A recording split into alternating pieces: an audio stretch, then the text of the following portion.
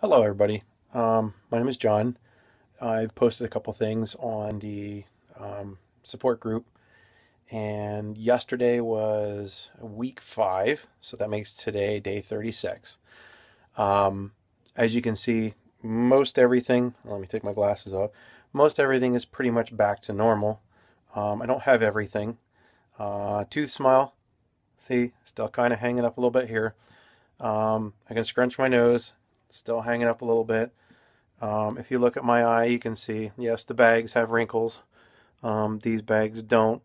I don't know how much you can see it. When I close my eye, it wiggles a little bit. And today, um, my cheek will wiggle a little bit too. Um, I don't think for me, everything started back in my ear or back in this area. Uh, the night before, I felt a little tingle right here. And then when I woke up, I had problems with my eye and I thought I had something in it.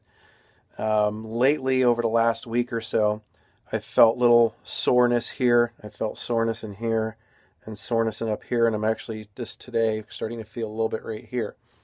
And what I think that is is, as everybody probably at this point knows, you've got the five nerves, you got the temporal, the zygomatic.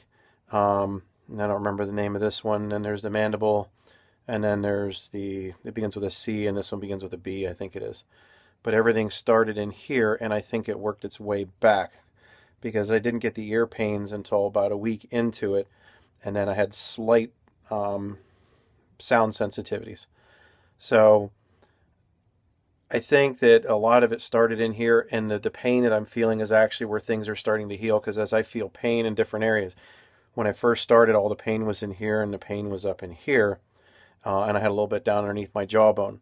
But as the pain worked its way in, things behind it started to heal and started to recover. And like I said, I think right in here and here, um, I'm just a little bit behind on my blinking. Uh, I don't know how much you guys can see it or not. Uh, it's a little bit behind, but for the most part, uh, I haven't had much of an issue with my eye for a couple weeks now. All right, uh, if you have any questions, you know, I'll be more than happy to help you guys. Uh, I've done a lot of research and posted a lot of things. I want to also post a video um, I'm going to probably do it on Monday. Uh, I teach at a university and I have a class on Monday and I was going to use the whiteboard and the projector and I'm going to probably do like a 15 minute video or something like that talking as much as I know and have found out about what exactly happens and why so that when you have uh, dizziness you know what it's coming from um, when you have the ear pain or you have a migraine you know what's causing it and where is it coming from uh, why your tongue tingles, uh, even why, uh, and like in my case, my eyes never had any problems with drying. I actually had the opposite. My eyes wouldn't stop drying. Um, so I don't think that part of my nerve was affected, uh, which again, I will talk to you guys hopefully on Monday about that and you'll be able to see.